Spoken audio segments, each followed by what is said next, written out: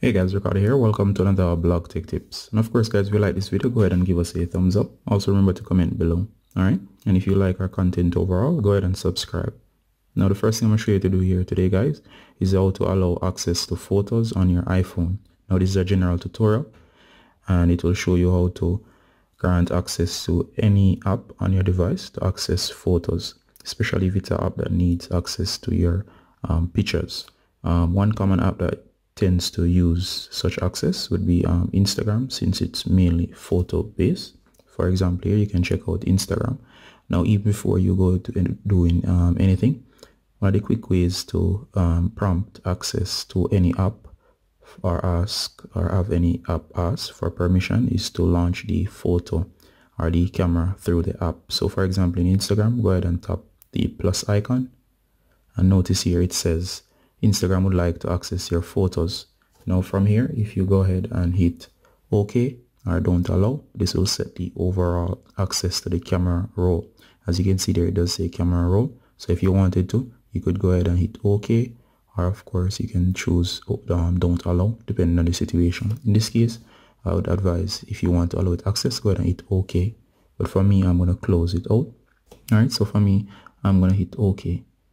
Alright, so notice my camera roll here. I might blur this out. So let's go and cancel this.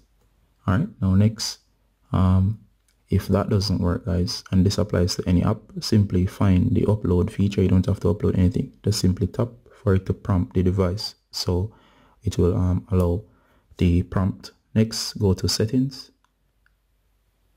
Now once you're in settings guys, go down and you'll see all applications on your device. From here you can choose any app including Instagram, let's say um, Facebook, you name it. As long as it asks for um, photographic permission, it will show up here. Now, let's say Instagram is the case. Let's say from before it didn't show you that. You can always go here to Instagram. Notice on the Instagram now you see the option for photos and notice it gives you the ability to read and write. And that's because earlier I, I hit OK.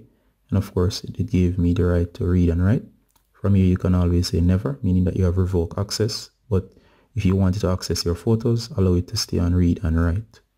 For some of you guys, you will not see photos at all in here. And of course, that's why it's very important, just like before, that you actually launch the app before and actually launch access to photos from within the app. So if the settings is not there, it will turn up. Let me show you exactly what I mean. If I hit never here, which you don't want to do, but I'm just showing you, and I go back um, to Instagram, let me just go to the profile feed if I hit the plus. Notice it says please allows access to your photos. Right and it says enable um, library access. And notice that's because I have disabled um, access. So as I said before you can always prompt the setting to appear especially if your device is new. You have never um, given access to that. So read and write. And of course as I said if I go back go back over to the feed notice if I hit the plus now.